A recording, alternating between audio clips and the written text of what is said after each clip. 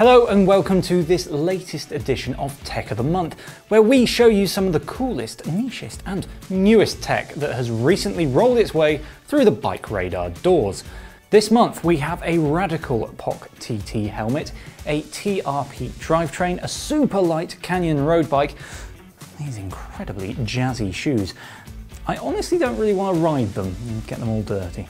Anyway, uh, first we'll start with Felix, who has Fizik's new range of saddles. Take it away, Felix. Thanks Liam. So yep, I've got a whole load of the latest saddles from Physique, who are known for their more high-end components and shoes. Now, before I take a closer look at these saddles, don't forget to subscribe to the channel if you want to see more content like this, and click that little bell icon so you don't miss out on our next one. I've got the new Aliante and Antares saddles here. Both models have been around for years now, but aside from the fact they're now called the Tempo Aliante and Vento Antares, they look pretty similar. In the case of the Tempo Aliante saddles, Fizik says that it has worked to improve rider comfort during long days in the saddle. The Vento Antares, on the other hand, focuses on racing and has been modified to be suitable for a wide range of positions. So, other than the name change, what is new? Well, let's start with the Aliante saddles. As I mentioned, these are designed to deliver long ride comfort, which I'm always looking to improve on. Like the existing Aliante saddles, the new model continues to feature a slightly sort of waved upper profile. However, Fizik says the new shape has been slightly flattened, which it says allows for more even pressure distribution across the saddle. There are three versions available and they all feature nylon shells, which the brand says allows the outer wings of the saddle to flex. We're told this should reduce the potential for chafing and rubbing. Above the shell, the saddles feature a dual density foam padding. A firmer layer is added here at the rear for added support and a softer padding at the front. Fizik has also included a pressure relieving cutout which is designed to promote blood flow. The range topping R1 has carbon rails, the mid-range R3 has the brand's Kium alloy rails, while the entry-level R5 has so-called S alloy rails. Each one is available in 145 or 155mm widths and are all 277mm long.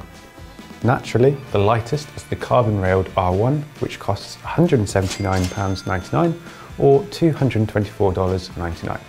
The cheaper R5 costs £104.99 or $129.99. So £75 or $105 is quite a difference there. Let's see how much they weigh. Okay, so first up, the R1 high spec carbon railed model is 177 grams and the R5 is 235 grams. And if you're interested, the R3 mid-range model comes in at 215 grams. Right, so if Kai and I have done our maths right, that suggests a 58 gram saving. Now looking at the Vento Antares saddles, and these are aimed at road racers and keen sporty riders who often favour a more aggressive position. The overall shape is much flatter, which in theory lends itself to those riders with greater flexibility and don't require the same amount of support. Now I'm not the most flexible rider out there, but personally I would take all the extra comfort I can get. Compared to the old version of this saddle, there has been a few changes. So first up is a slightly wider nose, which along with this cutout is said to eliminate pressure hotspots. The modified shape is also said to increase saddle interaction with your sit bones, which Fizik says leads to improved power transfer and pedaling efficiency. So those of us with a speedy disposition, this one might tickle your pickle. But such performance claims should be taken with a very big pinch of salt because saddle requirements are so specific to the individual and wrapped up in all sorts of bike fit considerations as well. Now I have to say you should check out our buyer's guide to saddles. The link for that is in the card above or in the description, especially if you're thinking about splashing some cash. The R1, R3 and R5 versions are all available in 140 or 150mm widths and are 268mm long. Uh, so that is actually a little bit shorter than the Aliante saddle. That's enough about saddles for a minute, but if you want to know even more about these ones, then keep your eyes peeled over on bikeradar.com And now it's over to Liam. Now, on to my shoes now, and we have Specialized's latest take on a gravel shoe. The Recon as a range has been about for a few years now, but this new version takes some of the tech from the S-Works Torch Road Shoe. Now I've got them and they fit my feet perfectly, so I really do have high hopes for these. A revised last, that's the kind of shape that the shoe is made around, now features a slightly wider midfoot area. Then underneath you've got a similar tread design to that that you'll find on the S-Works Recon cross-country mountain bike shoes. That's all very well and good, but I want to focus on the things that Specialized says makes these gravel specific. Many of us, when we go for a gravel ride, We'll get to a bit that we can't ride. Here in the west of England, that's about every 100 yards. Now, walking in most cross-country mountain bike shoes isn't actually that nice. That's why we've now got a market for gravel shoes. Anyway, Specialized has used what it calls Stride Toe Flex technology. That is to say, in non-marketing speak, that the soles are more compliant than the race shoes. It's an effort to make the shoes comfortable for long days on a bike. So if you're a bike packer or you just like to go on long adventure rides, they might be sounding quite good to you. Now these uppers are perforated synthetic material and to deal with all of that walking you've got protection right around the base where the upper meets the sole. That sole is then protected by the Slipknot tread. That is a great name. This is a continuous piece and it rises beside the cleats to give you a nice wide pedaling platform, which should improve pedaling comfort and stability. I just think they look really good. Oh, and thankfully, they're a huge amount cheaper than the S-Works race shoes. Uh, those will set you back like 385 quid, whereas these come in at 200 pounds. Still pricey, but a lot better. Right, I've got to pass over to Simon now. I really hope he's not still wearing that helmet.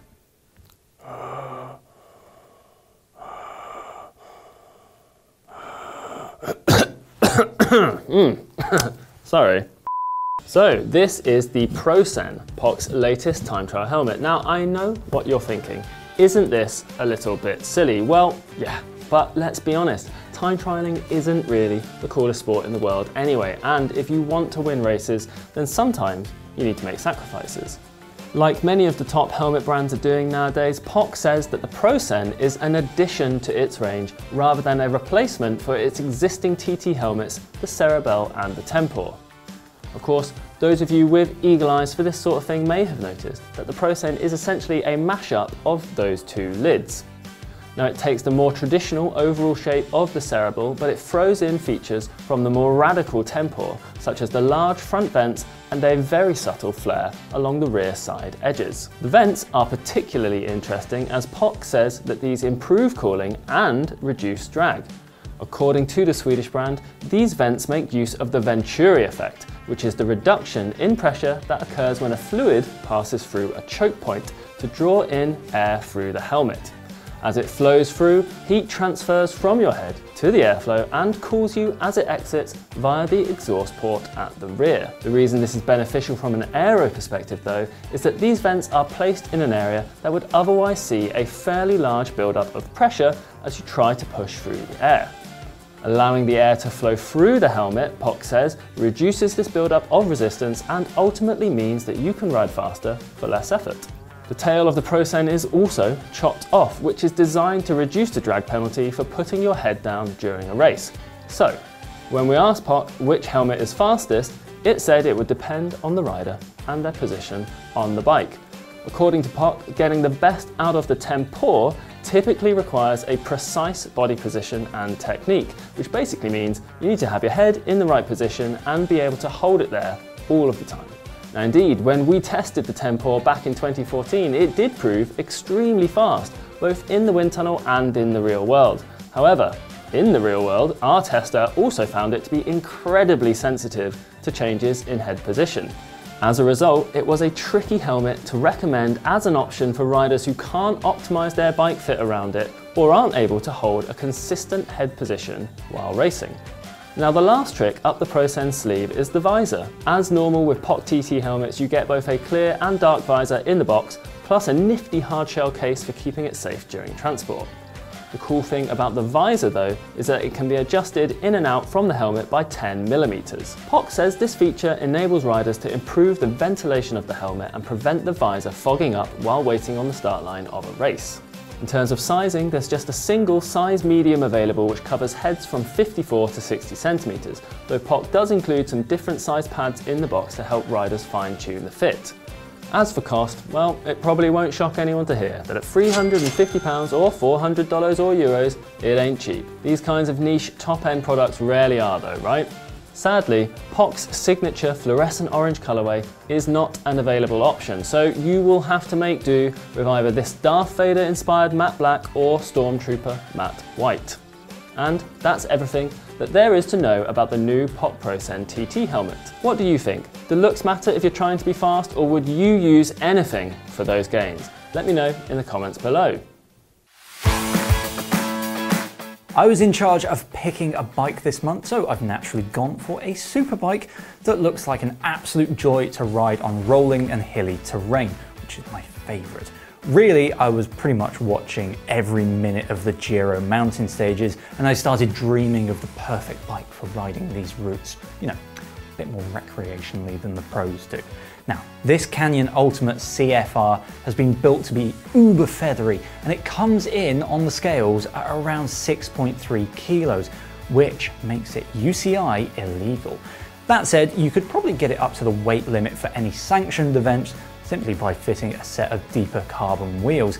And then if you needed to add more weight, I'd bet there are heavier saddles than that one.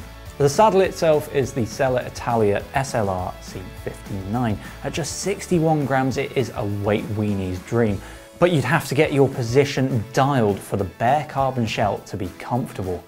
A Shimano Dura Ace Di2 group set provides the stopping and going, but if you wanted to be like Primoz Roglic, then I bet you could save some weight by going one by. Just don't go over any bumps. If you're not sure what I'm on about, then there's a great article over on bikeradar.com that took a look at the bike that Roglic switched to for the final couple of climbs of the Giro, which went, you know, pretty well. Back to the Canyon, and the wheels are DT Swiss's PRC 1100 Dicut Mon Chasseral. That's a very weighty name for a wheel set that is claimed to weigh just 1,266 grams. Now wrapping those wheels is a set of Schwalbe Pro 1 TT tyres, so we'd say that this bike is hill climb ready. Let us know in the comments if you want to see more of this bike on the channel. Now, over to Tom for a big box of TRP drivetrain bits. TRP are keen to show that your name doesn't need to begin with an S to succeed in the drivetrain wars with their new Evo 12 group set. Yes, a whole group set. While they've produced rear derailleurs and shifters before, this is the first time they've added cranksets and cassettes to the mix. There's no fancy wireless trickery here, just a good old cable actuated drivetrain that has a few features to make it stand out from the crowd. The key differentiators over the SRAM and Shimano equivalents are the shifter and rear derailleur. Let's start with the rear derailleur, which features a number of clever tools to help shifting performance and, importantly, keep drivetrain noise to a minimum. An instant silent clutch helps to reduce noise and chain slap, but it's TRP's unique hall lock that really sets it apart. Designed by Aaron Gwin's longtime mechanic John Hall, the hall lock stabilises the derailleur on its B-knuckle, which is this bit here. This helps to prevent it swinging back and forward, helping to keep it nice and quiet when you're hammering through the rough stuff.